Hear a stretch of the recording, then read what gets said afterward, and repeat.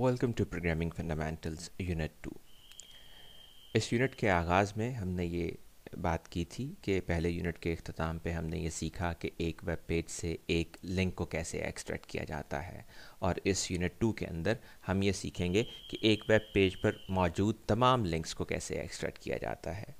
ऐसा करने के लिए हमें प्रोसीजर्स डिसीजंस और लूप्स के बारे में सीखना था। इस जम में हमने पिछले कुछ वीडियोस में बात की थी कि हम प्रोसीजर्स को कैसे डिक्लेयर करते हैं और कैसे इस्तेमाल करते हैं उसकी बहुत सारी मिसालें भी हमने देखी थी। अब हम बात करेंगे डिसीजंस के बारे में। अमूमी तौर पे जो लॉजिक का फ़्लो होता है, उस हम हम जो स्टेटमेंट्स लिखते हैं, वो one after one after the other execute होती हैं। यानी एक स्टेटमेंट एग्जीक्यूट होती है, फिर दूसरी स्टेटमेंट एग्जीक्यूट होती है एंड सो ऑन लेकिन हम जानते हैं कि अमूमी लॉजिक के फ़्लो के अंदर डिसीजंस की अहमियत होती है। यानी हमें बहुत सारी सिचुएशंस में डेटा की आउटकम की बेसिस के ऊपर अपने एग्जीक्यूशन के फ़्लो को तब्दील करना पड़ता है। मिसाल के तौर पे मैंने आपको एक एक बहुत छोटी सी मिसाल ये दी थी कि घर से बाहर निकलते हुए हम ये देखते हैं कि अगर बारिश हो रही है तो हम छतरी साथ ले लेते हैं।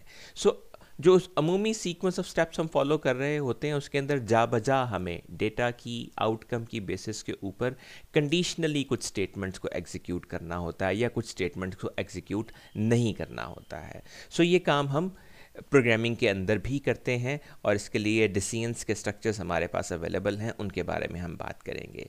जो पहली बात हमें डिसीजंस के बारे में करनी है, वो है कंपैरिजन ऑपरेटर्स की, कि हम ज़ाहिर जब डिसीजंस करते हैं तो हमें कंपैरिजंस भी करने पड़ते हैं। मिसाल के तौर पे जो सादा क्वांटिटेटिव कंपैरिजंस हम कर सकते हैं लॉजिकल कंपैरिजंस कर सकते हैं that is less than greater than less than और इक्वल टू लाइक हम क्वांटिटीज़ को जब कंपेयर करते हैं तो हम कह सकते हैं कि क्वांटिटी दूस एक दूसरी क्वांटिटी से बड़ी है या छोटी है या उसके बराबर है या लेस इक्वल है या ग्रेटर इक्वल है या नॉट इक्वल है।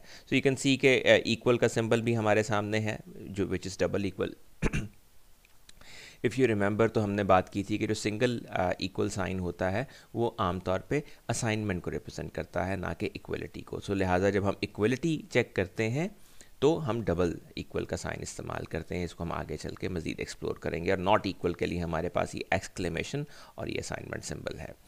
So all of these operators act on numbers for example number operator number ये आम सेंटेक्स है कंपैरिजन का कि आप लेफ़्ट साइड पे कोई नंबर लिखते हैं, दरमियान में कोई ऑपरेटर लिखते हैं like less than greater less than equal equal not equal और राइट हैंड साइड पे भी कोई नंबर होता है। और जब इस किस्म का एक्सप्रेशन आप लिखते हैं तो उसका जवाब आमतौर पर हमारे पास बुलियन होता है, यानी बाइनरी आंसर हमारे पास आता है, यानी वो या ट्रू होता है या फॉल्स होता है। इसकी कुछ मिसालें हम देख सकते हैं। मिसाल के तौर पे अगर हम आइडियली में ट्राई करें print two less than three so you know the answer would be true because two is less than three अगर हम यही ऑपोजिट चेक करें two greater than three the answer is false because 2 is not greater than 3 right? Similarly misal ke taur pe aap is particular example ko agar le. So it says that print 7 star 3 less than 21 is it 7 it's 7 star 3 less than 21 no it is not less than 21 it is actually equal to 21 right? Similarly, अगर हम ये check करें कि क्या seven star three which is which will be evaluated and it will turn out to be 21 so is it greater than 21 the answer should be false again because 7 star 3 is not greater than 21 either however it is equal to 21 so in this case you receive the answer true star three which is twenty one is equal to twenty one so इस तरीके से हम मुख्तलिफ़ किस्म के comparison कर सकते हैं। हम यहाँ नॉट इक्वल को भी ट्राई कर सकते हैं that which will again give us false as an answer right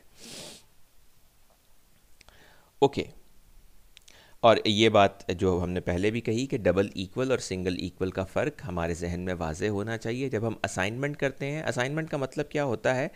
कि जो वैल्यू राइट हैंड साइड पे है, उसको लेफ़्ट हैंड साइड पे किसी आम तौर पे हम किसी वेरिएबल के अंदर स्टोर करना चाह रहे होते हैं right so that is assignment whereas in equality we are checking whether the quantity on the left hand side and right hand side are equal और नॉट सो असाइनमेंट के केस में असाइनमेंट हो जाती है, वो वैल्यू स्टोर हो जाती है लेफ़्ट हैंड साइड पे जो भी वेरिएबल होता है। और इक्वलिटी के केस में जवाब येस या नो या ट्रू या फॉल्स की फॉर्म में आता है कि क्या ये कंपैरिजन बराबर है या नहीं। Okay so just to refresh this thing why is the equality comparison does done using this double equal instead of single equal so so, हमारे सामने कुछ ऑप्शंस लिखी हुई हैं हम इन ऑप्शंस को अनरेवल कर सकते हैं। बिकॉज़ सिंगल इक्वल और assignment means approximately equal because not equal uses two characters so अगर नॉट इक्वल दो यूज़ कर रहा है तो इक्वल को भी हमें दो करवाने पड़ेंगे।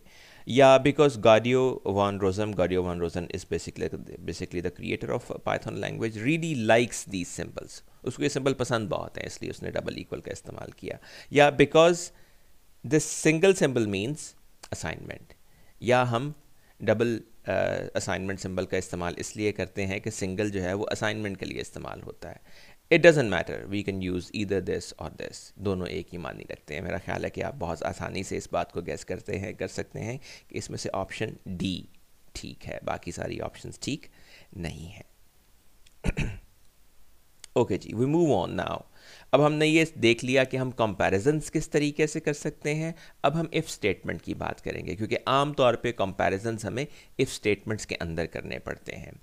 सो so, और हमें जो डिसीजंस करने होते हैं वो भी इफ़ स्टेटमेंट की फॉर्म में करने होते हैं। यानी अगर ऐसा है तो हम ऐसा करेंगे वरना कुछ और करेंगे। So if statement is a very important structure in this regard to facilitate decisions in our logic and if statement provides a way to control what code execute based on the result of the test expression here is the grammar of the if statement like we will write it like if then there will be a test expression right Which can be a condition. And if that condition is true, we can execute a block enclosed here. You see this colon here. This colon says that this if is again going to be a block, which is uh, highlighted in the form of indentation. In this statement, the code in the block runs only if the value of the test expression is true. यानी अगर इस expression की value true होगी तो ये वाला part of code run होगा वरना एग्जीक्यूशन इस इफ़ स्टेटमेंट के बाद से आगे कंटिन्यू होगी, ये ब्लॉक एग्जीक्यूट नहीं होगा। Similar to procedures the end of the if statement block is determined by indentation यानी इफ़ स्टेटमेंट के अंदर जो कुछ भी होगा, वो यहाँ से इंडेंट करके एक टैब आगे लिखा जाएगा। और जो भी चीज़ एक टैब पीछे जाके लिखी जाएगी, उसका मतलब ये होगा कि इफ़ स्टेटमेंट का स्कोप यहाँ ख़त्म हो गया। आगे जो कोड है, वो इफ़ स्टेटमेंट का हिस्सा नहीं है राइट मिसाल के तौर पे,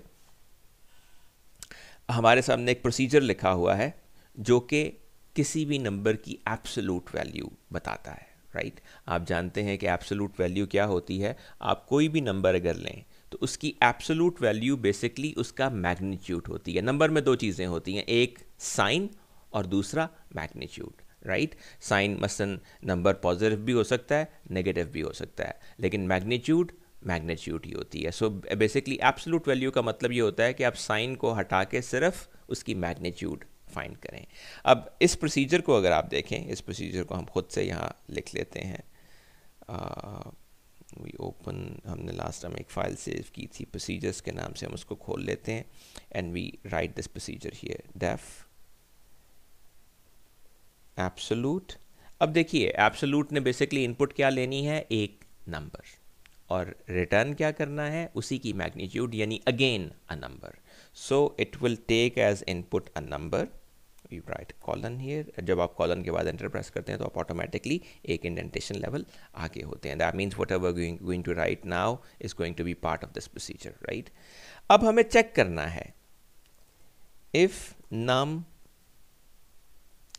less than zero यानी अगर नंबर का सिंबल नेगेटिव है नंबर नेगेटिव है राइट right? तो हम क्या करेंगे? Num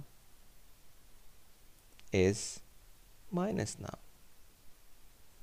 right यानी अगर नम का सिंबल नेगेटिव है, अगर नम नेगेटिव नंबर है तो हम उसको, उसका नेगेटिव सिंबल उससे हटा देंगे। हम उस नंबर को न्यूट्रल कर देंगे। पॉजिटिव साथ आमतौर पे लिखा नहीं जाता राइट और अब हम इफ़ स्टेटमेंट से बाहर आ गए। मैंने एक टैब पीछे बैक स्पेस के ज़रिए मैं पीछे आ गया इसका मतलब है अगली जो स्टेटमेंट मैं लिखने जा रहा हूँ, वो इफ़ की बॉडी का हिस्सा नहीं है प्रोसीजर की बॉडी का हिस्सा बहरहाल है। And I use a return statement to return the num Now, if you closely look at this logic, this uh, procedure absolute takes as input a number. We name it as variable num, and then we check if num is less than zero. अगर इसकी value negative है तो हम जब हम negative को negative मजीद करते हैं तो वो पॉजिटिव हो जाती है यानी सादा लफ्ज़ों में हम चाहते हैं कि उसका उसका सिंबल उसके साथ ना आए जब पॉजिटिव नंबर होता है तो सिंबल नहीं आता right so in that case this negativity will be cancelled out by another negativity so that will turn out to be a number without a symbol, and then we will return this symbol. अब हम जानते हैं कि अगर ये condition false हो जाती है, यानी जो नंबर हम सप्लाई करते हैं, वो नेगेटिव नहीं होता तो फिर ये स्टेटमेंट भी एग्जीक्यूट नहीं होगी. यानी num is assigned minus num ये स्टेटमेंट एग्जीक्यूट नहीं होगी. सिंपली नंबर रिटर्न हो जाएगा.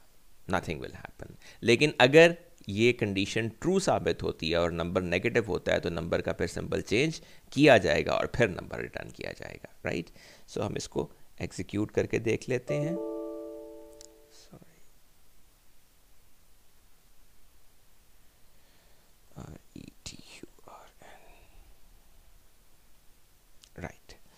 So the function was absolute, the procedure was absolute. We pass it 3 and it gives us 3.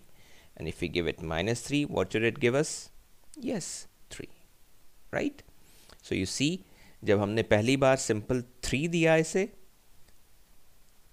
You see here जब ये दिया तो इस केस में क्या हुआ कि ये कंडीशन फॉल्स हो गई because three is not less than zero so we simply came down to this statement and we returned that same same number and in second case when we gave it minus three तो इस case में ये condition true हुई number को मज़ीद negative से multiply होके वो फिर उसका सिंबल पॉजिटिव हुआ और फिर वो नंबर रिटर्न हुआ so this is how if statement works we have, we have a little quiz to check out whether we have got the idea of the if statement or not. That is, define a procedure bigger. तो हमें कहा गया है बताया गया है कि एक प्रोसीजर बनाइए जिसका नाम आप रख लें for example bigger that takes in two numbers as inputs वो इनपुट के तौर पे दो नंबर लेगा and outputs the greater of the two inputs और उन दोनों में से जो बड़ा नंबर होगा वो आउटपुट के तौर पे रिटर्न करेगा। तो हमें एक प्रोसीजर बनाना है, नाम उसका बिगर रखने जा रहे हैं हम। वो इनपुट्स दो लेगा, वो दोनों नंबर होंगी क्वांटिटीज़ वैल्यूज़ और वो उनमें से फिर एक आउटपुट रिटर्न करेगा और वो आउटपुट उन दोनों में से जो भी बड़ा नंबर होगा वो होगी। मिसाल के तौर पर अगर हम इस तरह से इस प्रोसीजर को कॉल करें 2 7 it should return as 7 if we call it like 3 2 it should return as 3 and if we call it again 3 3 like in, in, in this case, case, the bigger number is obviously 3, right? So we define this procedure. def bigger we know it should take two number two numbers as input. We call them say num1 num2 right? And then we press enter. You see again we are a level ahead in indentation and now we need to check अब हमें comparison करना पड़ेगा कि दोनों में से कौन सा नंबर बड़ा है। So we use an if statement to see if num one is greater than num two अगर नम वन नम टू से बड़ा है तो रिटर्न नम वन अगर नम वन नम टू से बड़ा है तो फिर आप नम वन रिटर्न कर दीजिए बिकॉज़ नम वन बड़ा है, हमें दोनों में से बड़ा नंबर बताना है। Right and now I will write return num2 two हो सकता है आपको अपेरेंटली थोड़ा सा कंफ्यूजिंग लग रहा हो but this is all right ये काम करेगा। ये कैसे काम करेगा? दो नंबर हम इसको सप्लाई कर देंगे।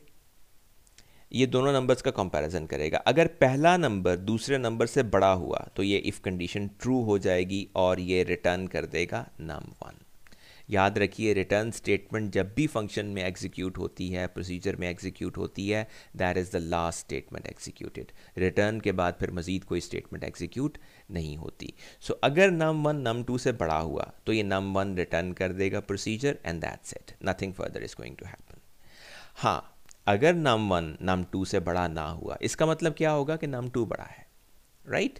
सादा लफ्ज़ों में। सो so, उस केस में ये स्टेटमेंट एग्जीक्यूट नहीं होगी हम इफ़ के ब्लॉक से बाहर आ जाएँगे और फिर ये स्टेटमेंट एग्जीक्यूट हो जाएगी नम टू। यानी अगर नम वन बड़ा हुआ तो नम वन रिटर्न हो जाएगा वरना नम टू रिटर्न हो जाएगा। हम इसे एग्जीक्यूट करके देखते हैं। So the procedure is named bigger give it we give it 2 and 7 to see so it returns a 7 if we give it for example 3 and 2 it returns us